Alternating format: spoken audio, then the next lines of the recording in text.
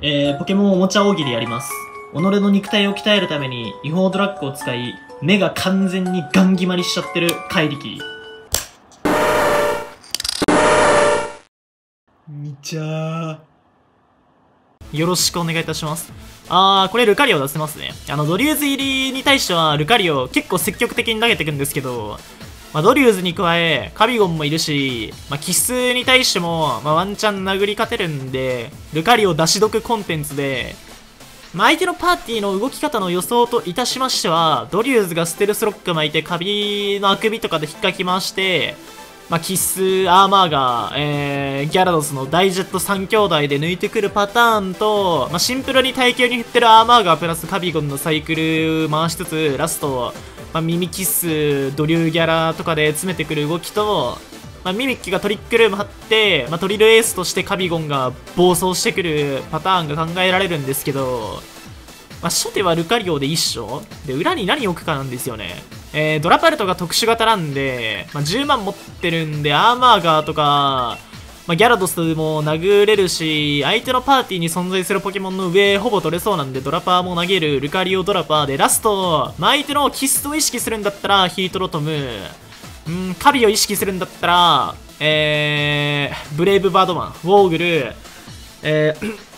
ギャラを意識するんだったらミミッキュがいいかなと思うんですけど、まあ、キッスとギャラまとめてミミッキュで見れるから、いやでもな、ミミッキュにするとな、カビちょっとだるそうだよな、ルカリオドラパ、えー、ミミッキュだと。ちょ、ウォーグルにするか。ウォーグルだと多分、カビゴン殴り勝てるし、ダイマ切ればワンチャンキッスとか、ギャラドスもいけるんで。あちょ、バリアード出したかったけど、出さんかったわ。バリアードおもちゃポケモンじゃないんでね。あの、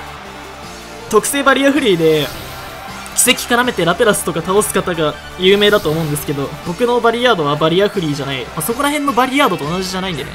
で、まあ出してないバリアードの説明しても意味ないんですけど、まあこれは出し勝ち。相手のドリュウズが何かわかんないけど、まあ初手ってことはタスキの可能性が、まあ、高いと思われる型破り。まあここはインファでいいっすね。で、今日マジで、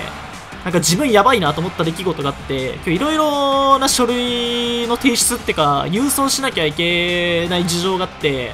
まあ、コンビニに行ったんですよ。まとめて印刷とか、まあ、切手とかも買えるから、全部まとめてコンビニでやろうと思って、まあ、コンビニに行こうと思ったんですけど、まあ、その提出しなければいけない印刷物の中に、ま、僕の保険証があったんですよね。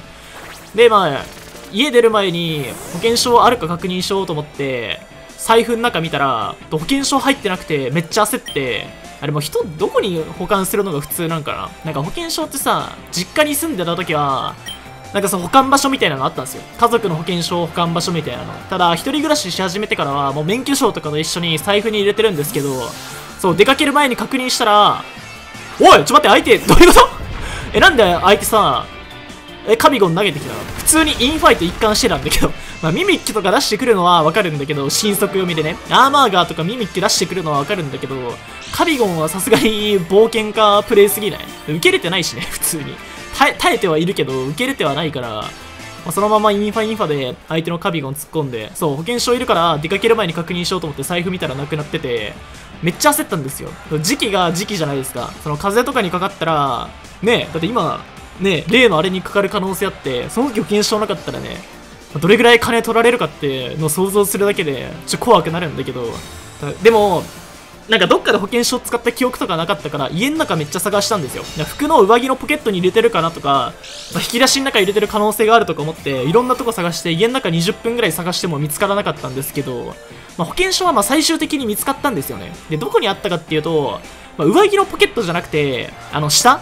あのーパンツのポケットの中に入ってて、多分出かける前にこれとこれとこれは使うからまとめてポケットに入れとこうっつって、まあ、下のズボンのポケットに入れたと思うんですけど、それに気づかずに20分間探してて、まあ、見つかったから、それは良かったんだけど、まあ、そのままコンビニに行って、まあ、コピー機でコピーするじゃないですか。えー、保険証。で、コピーして、まあ、そのまま切手も買って、まあ、送らなければいけない郵送物をまとめて送って、家に帰って、で、その、起きてからさ、保険証がない恐怖に見舞われたから、あの、大丈夫かなと思って、もう一回財布の中確認したんですよ。そしたら保険証なくて、やべえやべえやべえマジないんだけどまたと思って、ただ次は、容易に想像がついたんですよね。で、保険証がその日僕が出したところって、まあ、コンビニで印刷するところだけだったから、まあ、多分コンビニにあるだろうなと思って、速攻コンビニに行ってさ、まあ、印刷機の中見たらあったんですよ。であったから、まあ、よくて、まあ、そのまま回収して、まあ、家に帰ってきたんですけど、僕の家って、あの、オートロックなんですよね。で、オートロックなんですけど、オートロックってあれね、えー、っと、鍵、外から閉めなくても、窓、ドアガチャって開けただけで、自動で、えー鍵が閉まるってシステムなんだけど、家の中に鍵忘れたまま外に出てきちゃって、あの、家の中入れなくなっちゃったんですよ。で、俺マジ、終わってんな、俺と思って。うん。完全にこれだってさ、もう例のあれじゃん。ちょっと名前出さないけどさ、例の、俺もし、もしかして僕、例のあれなんかなと思ってさ、なんか、絶望しましたね。自分のバカさ加減に。それともシンプルにさ、廊下なのかななんか周りの人の話聞いてても、僕ぐらいの時から、まあ今日僕が言ったみたいな行動をするケースが増えてくるっぽくて、ああ、ついに俺も来たかと思ったんですけど。で、ヒートロトム投げます。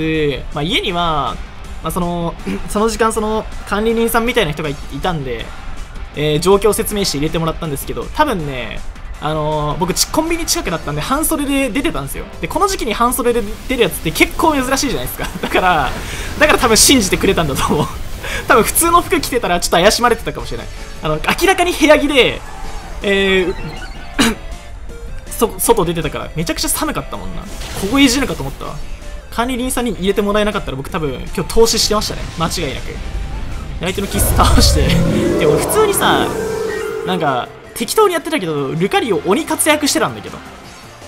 ドリューズのタスキまで潰してさカビゴン持ってって、まあ、キスもあそこまで削ってくれたんだったら何も言うことないっすね。なんか尋常じゃない 尋常じゃないぐらいの活躍してるんですけど。相手のドリューズ型破りだからなんだよな。自信当たるんだけど。相手勝ち筋なくない？相手の勝ち筋あれか。なんかミミックがワンチャンジャーレつくワンウェポンとかで、まあ、ドリューズにえー、ジャレつく外して型破りヘッドで殺すみたいな勝ち筋のもと最後まで戦ってきたのかな。でも残念でーす。トラパルトでーす。僕性格悪いんでいやこれダイマックスする必要ないんですよ。相手のドリューズタスキなんでまあ、こんなんドラパルトダイマックスせずに倒すのが、まあ、こっちとしても時間一番早いんで、えいいんですけど、僕性格悪いんで、まあ、ドラパルトの型が、まあ、これ特殊型ドラパルトなんですけど、特殊型って知られたくないから、ドラパルトをダイマックスさせて、大フォローを打つことで、まあ、相手にね、このドラパルトが特殊型のドラパルトだったのか、えー、物理型のドラパルトだったのか、永遠に解決させないまま、謎を解明させないまま、この対戦に勝利していくと。やっぱポケモン対戦において情報は武器なんでね、まあ、こういう隠せるところは、まあ、きっちり隠していった方がいいということで、対戦ありがとうございました。皆さんも、あのーま、物忘れとかね、忘れ物には注意しましょう。特にオートロックに住んでる人はね、鍵は、あのー玄関の近くとかで保管するようにした方がいいよ。はい、えー、アマトさん、対戦よろしくお願いいたします。相手ルカリオいいんじゃん。しかも、一番上ルカリオ。分かり手じゃん。ルカリオミラー、よろしく。あ、でもこれ、これ、ルカリオめっちゃ出せるじゃん。あの、タスキ持ってるんで、相手のルカリオとの打ち合いになったとしても、まあ、勝てる可能性がある。で、ルカリオ、今使ってるルカリオは、電気技あるからギャラに対しても強いんで、ギャラも怠慢だったらいけそう。で、ドレーズカビゴンもインファでぶっ飛ばせばいいから、初手ルカリオ。で相手の大ジェット積んだ後の、まあ、ギャラとかキスが鬱陶しいんで、バキの皮アルビミッキで透かして、まあ、カビゴンにちょっと強そうなウォーグル。これでいきます。はいよろしくお願いしますえー、冒頭にカイリキの茶番入れたと思うんですけど、カイリキパンツみたいなの履いてるじゃん。あれって、なんかパンツ履いてるわけじゃなくて、模様らしいですね。まあ、つまり何が言いたいかっていうと、カイリキあれ裸で過ごしてるらしい。あのパンツ、パンツじゃないから。てのを誰だっけな？ランドセルさんの動画かなんかで得た知識だと思うんですけど、あこれちなみに勝ちます。なんでかっていうと、えー、相手のルカリオは通常色なんですよ。で、僕が今使ってるルカリオは色違いなんですよ。まあ、サイヤ人もさ、黄色い方が強いじゃないですか。そういうことですね。真空波あー、何型だろうあこれ弾かメガネ。さすがにパワーありすぎ。あのー、こんな入んないんで。メガルカリオの真空波ならまだしも、ルカリオの真空波こんな入るわけないから、まあ、タスキじゃないということで、まあ、このタイマン対決は、まあ、僕の勝ちなんで、このポケモン対戦も実質僕の勝ちってことで。なあ、ミミッキュか影打ち読むんだったら、ウォーグルで透かしたいんだよなオシャンティに影打ちウォーグルで透かしたいけど、ウォーグルに引いたタイミングでなぜか相手が剣の前から入ってきたらめんどくさいから、あー、まさすがに影か。さすがに影か。まあ別にルカリオ、タスキ潰れてるし、取っとくメリットなかったんで、まあまあまあまあまあまあまあ。で、これは、えー、え、てか相手のミミッキ命の玉じゃないな。玉ミミッキじゃないってことは、何持ってんだろう？いやでも命の玉は相手のパーティーだとギャラドスとか、あれか、トエキスに回してるってことか。うわ、トリル型とかだとめんどくさいな、ミミッキュが。アッキトリルとかだと、まあ、ちょっとめんどくさいですね。ここウォーグル大魔させて大ジェットを撃つんだけど、撃たないとミミッキュに対して若干怪しいんで、そういえば、4月の最大の楽しみであった、まあ、映画？コナンの映画の上映がさ、4月17日だったんですよ、もともとは。ただ、最近の例のあれの影響を受けて、やっぱ、コナンの映画ってその期待値が高いわけよ。映画の中でも。めっちゃ見に来る人多いから、パンデミック、映画館の、えー、スクリーンのあの部屋の中にぶち込まれて、もしかするとコナンパンデミックが起きる可能性があったから、多分、上映をさ、先延ばししたと思うんですけど、まあ、あれは英断だね。さすがに英断だと言わざるを得ない。悲しいけどね。悔しいけど。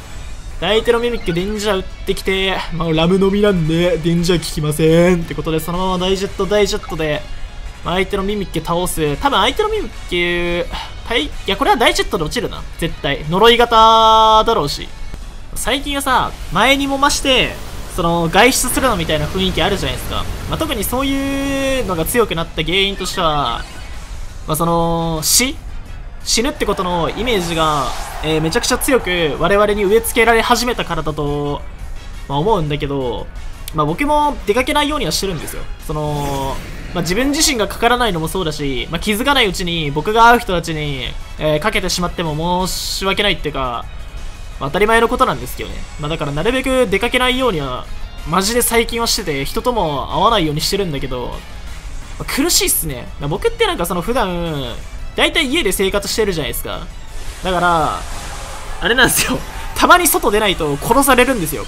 あの、なんだろう、ニートの空気感というか、えー、引きこもりの重圧に耐えれなくなるんで、たまに出かけないと、ガチで、